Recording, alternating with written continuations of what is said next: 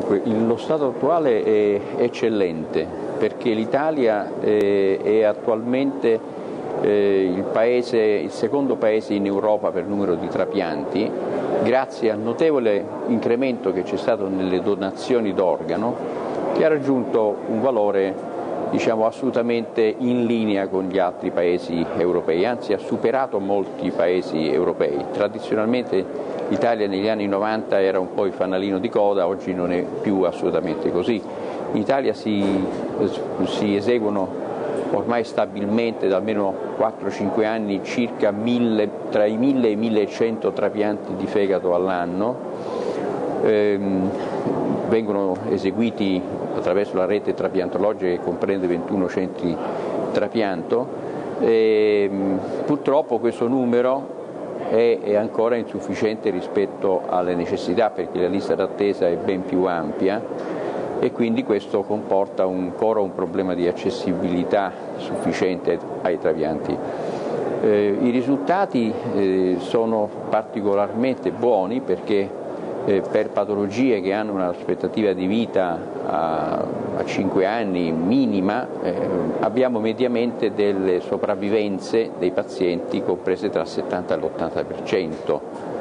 Quindi eh, risultati straordinari che sono certamente merito delle equipe chirurgiche italiane che sono di primissimo livello e poi dell'organizzazione eh, patologica diciamo, eh, di supporto del pre e del post trapianto e di tutti gli operatori di questo settore.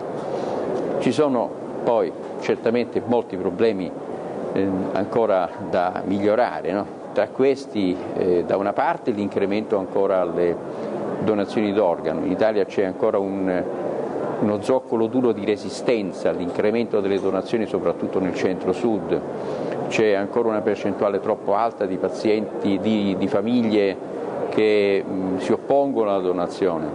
Quindi insomma c'è ancora molto da lavorare in questo campo.